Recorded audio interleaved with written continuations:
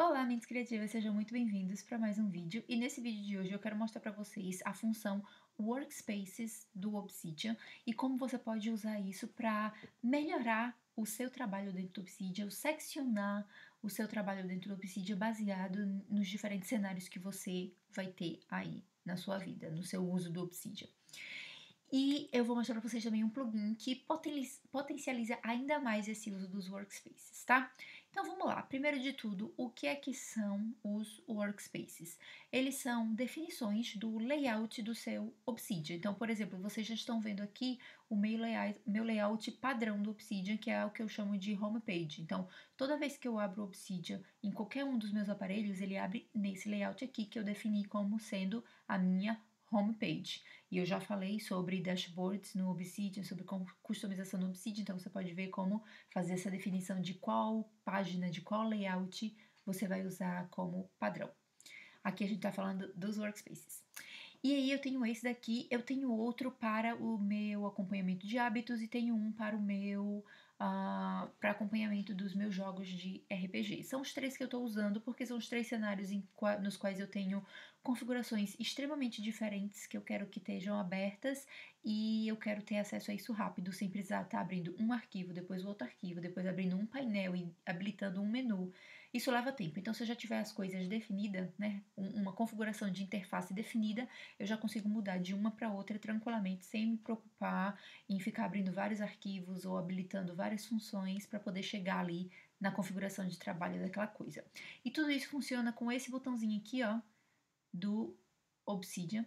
Se eu passar o, o mousezinho aqui por cima, ele vai estar tá dizendo Manage Workspace Layouts, tá? E aí, se eu clicar, ele abre aqui, ó, vai dizer, tem justamente os três tipos de espaços de trabalho, de workspaces, que eu acabei de comentar para vocês. Como é que você define isso? Tem duas formas. A forma mais básica, que funcionou para mim por muito tempo, foi a do plugin padrão. Então, se você vier aqui nas configurações e vier em Core Plugins, você vai ter aqui embaixo ó, o Workspaces. E aí tá coberto ali com a minha, com meu, o meu vídeo, mas é, tem um botãozinho igual a esse aqui que você habilita. E aí ele vai ficar desse jeitinho aqui. Com ele habilitado significa que você pode usar os Workspaces e esse íconezinho aqui ó, vai aparecer do lado, tá? E depois eu vou mostrar um plugin que deixa isso um pouco melhor e ajuda você a potencializar o uso dessa funcionalidade, tá? Mas aí, quando eu ativei isso, eu tenho essa opção aqui. O que é que essa opção faz? Vamos dizer que eu não quero mais esse layout aqui. Eu quero criar um outro layout diferente. Por exemplo, eu tenho aqui a minha página aqui de livros. Eu vou abrir essa página de livros e eu vou, ó, eu tenho essa chavinha aqui que tá dizendo que essa página ela tá fixa, então ela não sai, não interessa que eu abrir, eu vou tirar ela. Pronto. E eu quero as minhas tags aparecendo aqui. Então eu tenho, ó, as minhas tags aparecendo aqui nesse menu, ou eu posso dizer que eu quero os links. Uh, e aqui, ó, eu vou botar o Uh, o Outline também é um plugin padrão, está lá na lista de plugins padrões que você pode habilitar. E aí eu tenho o Outline aqui, que vai mostrar, né, se eu tiver mais títulos aqui e textos, ele mostra aqui. Por que, que eu botei essa configuração aqui? Vamos dizer que eu esteja trabalhando com estudos, né? E aí eu tenho os meus livros, ou artigos, ou material de leitura aqui, estou com a lista deles organizados, as minhas tags para poder acessar conteúdos relacionados mais rápido e o, uh, o outlines aqui para eu poder ver um resumo da página. Então, se eu tiver título 1, é capítulo 1, capítulo 2, capítulo 3, né? Um resuminho de todas essas coisas vai aparecer aqui. Eu posso clicar em cada um e ir mais rápido para essa parte do arquivo. Então, eu criei ó, um layout diferente do que a gente começou. E eu quero salvar esse layout porque toda vez que eu for estudar ou toda vez que eu for fazer anotação de livro, eu quero começar com esse layout aqui. É esse layout que tem as ferramentas que eu vou usar que vai fazer o meu trabalho mais rápido. Mas eu não quero toda vez ter que desabilitar aquela primeira página que eu estava aqui, abrir essa página, colocar aqui no outline, colocar aqui nas hashtags. Então eu já quero salvar isso aqui para deixar pronto para mim. Como é que eu faço isso? Aqui, ó. Nesse botãozinho, você pode digitar, eu vou chamar esse layout de books, pode ser estudo, pode ser o nome que você preferir. Vou chamar de Books aqui, porque eu vou deletar depois, porque isso aqui é só um exemplo para vocês. Então, quando eu coloquei o nome que eu quero dar para esse workspace, eu vou colocar aqui em salvar. Salvei, ó, ele apareceu aqui na minha lista. É um dos workspaces que eu tenho. Mas aí, se vocês perceberam, né, eu mudei totalmente o meu workspace. Eu não estou mais no meu workspace da página principal. Agora eu quero voltar. Terminei meu trabalho de leitura aqui, terminei de registrar um livro, ou estudar, ou o que for. Vou voltar para minha homepage. Eu venho aqui, ó, e carregar a homepage. E aí ele vai carregar tudo de novo, exatamente aquela configuração que a gente estava inicialmente. Ele voltou para ela aqui, tá? Porque está registrada, está guardada lá. Isso são os workspaces. Você guarda o layout. Ah, não, peraí, eu vou voltar para os livros. Preciso estudar um outro livro, no outro dia, qualquer. Venho aqui, carreguei o workspace. Ele vai estar, tá, ó, daquele jeitinho que a gente marcou, com todos os menus habilitados que a gente tinha habilitado no início. Então, é isso que eles fazem. Outro aqui exemplo é o meu de uh, ah, RPG. Eu carregar, ele entra no meu dashboard de RPG, tá tudo configurado. Ó, os menuzinhos aqui, se vocês prestarem atenção, eles são todos diferentes do que estavam antes, porque eu fechei os que eu não usava, deixei só os que eu usava, troquei o plugin de calendário porque eu uso o Fantasy Calendar aqui. Enfim, fiz a minha troca e deixei só o que eu usava para essa situação aqui. E se eu quiser voltar, de novo para o meu homepage, que é de onde parte tudo no meu sistema de organização no Obsidian, eu tenho isso aqui. Inclusive, podem notar aí que vai ter vídeo aqui falando sobre esse homepage e sobre como vocês podem ter um igual. Em breve, em breve. Mas vamos lá, então é isso. Você vai montar aqui a sua tela, vai arrastar as coisas. Vamos dizer que eu quero continuar com esse daqui, mas eu quero que a minha página de aqui ó, de RPG também fique disponível aqui. Eu quero essas duas. Eu posso deixar esse layout e salvar ele numa nova, num novo workspace, mesmo procedimento que a gente já fez. E ele vai ficar com essas duas páginas abertas, tá? Com aqui, ó, o, a dica bônus de você marcar uma página clicando no botão direito do seu mouse, você pode vir aqui, ó, e vai ter esse símbolozinho. No meu caso aqui, ele está dizendo para tirar, porque eu já tenho ele marcado ali, né, preso na, como uma aba fixa, mas se você não tiver a aba fixa, ele vai estar aqui para você marcar ele. Então é para marcar e desmarcar. Tem isso aí. Qual é o plugin que eu uso agora para gerenciar isso? Por que, que eu botei um plugin em vez de usar só o padrão, que já funcionava bem? Porque é o seguinte, o padrão ele cria tudo isso, mas toda vez eu tenho que vir aqui, ver a minha lista, eu vou até deletar aquele que a gente fez. Não vou deletar agora não, vou deixar ele aí para mostrar outra coisa para vocês. É, venho aqui na minha lista, escolho qual é que eu quero carregar e clico em carregar esse workspace.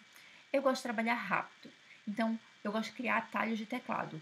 No plugin padrão, eu não consigo criar um atalho de teclado para abrir cada um desses, uh, de, desses workspaces separadamente. Eu tenho que toda vez ir lá e clicar, ir lá e clicar. Ou vir aqui no Command P ou Ctrl P e procurar por Workspaces, tá? Esse é o plugin que eu estou usando, Workspaces Plus. Mas o padrão, ele vai vir aqui, ó, vai me dizer para eu carregar um workspace. Então só tem isso daqui, basicamente. Esse e esse, de salvar e de carregar. Eu não tenho diferença entre nenhum dos meus workspaces. Já no plugin, ó, ele me dá a opção de todos os workspaces que eu tenho salvo para eu poder ir direto para ele. Se você olhar aqui, ó, eu tenho atalhos, porque eu criei atalhos para cada um desses workspaces que eu tenho porque eu quero acessar eles rápidos. O que não tem é esse daqui, ó, que a gente acabou de criar.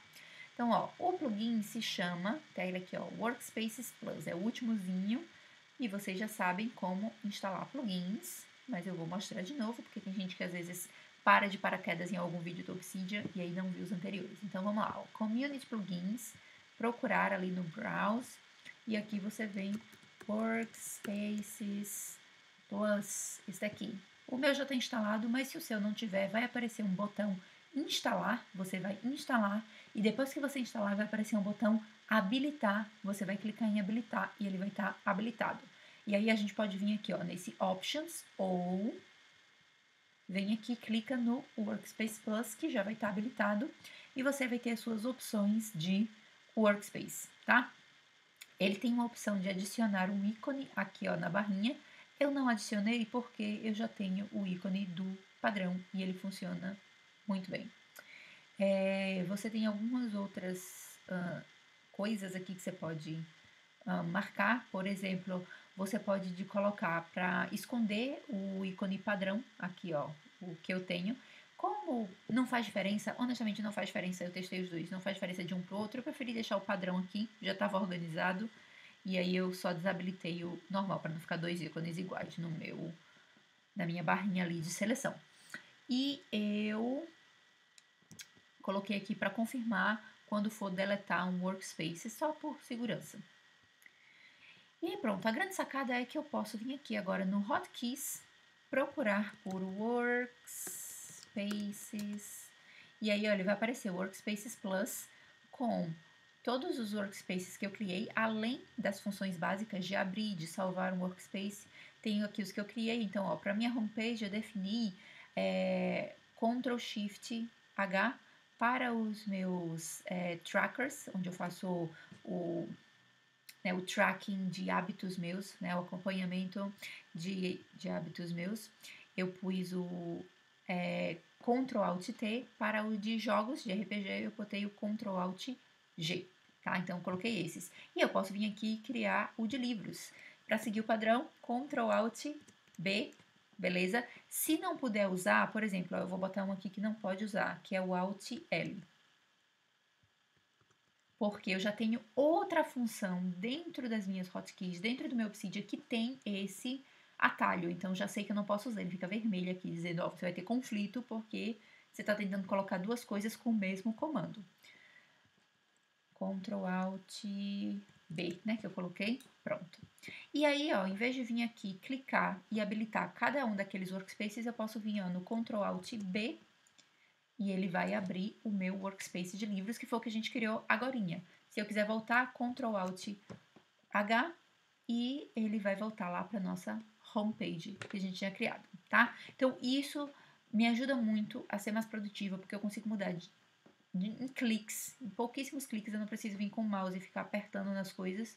Só no teclado eu consigo trocar de uma página para outra e me ajuda também no sentido de eu poder organizar vários é, conteúdos diferentes num formato que eu vá usar eles. Então, você tem um, um, um padrão que você usa para quando você está trabalhando, você tem um padrão que você pode usar se você usa o Obsidian para coisas pessoais, para quando você está registrando o seu dia, ou você pode ter um assim, ó, de homepage que nem eu tenho, ou um de jogos que nem eu tenho também, ou para outras funcionalidades. Então, ter essas divisões ajuda muito. Então, eu quis trazer essa função mais detalhada para vocês, para vocês saberem qual que, que vocês podem fazer e ferramentas auxiliares, né? Que foi esse plugin que eu mostrei para vocês, que vocês podem usar para intensificar ainda mais a produtividade dentro do seu Obsidian.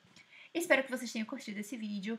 Deixem o like aqui embaixo que me ajuda muito a continuar produzindo conteúdo para vocês. Comentem aqui embaixo o que é que vocês acharam, que outras dicas você tem. Se, vocês tiveram dúvida enquanto eu estava falando aqui no vídeo e eu acabei não solucionando as dúvidas, pode comentar aqui embaixo. E se você tem mais sugestões de plugins, de vídeos para fazer, pode botar aqui embaixo também, que aí eu vou colocando na lista avalia, avaliando a possibilidade de criar esses vídeos para vocês. Eu espero ver vocês no nosso próximo vídeo e até lá, mantenham-se criativos. Tchau!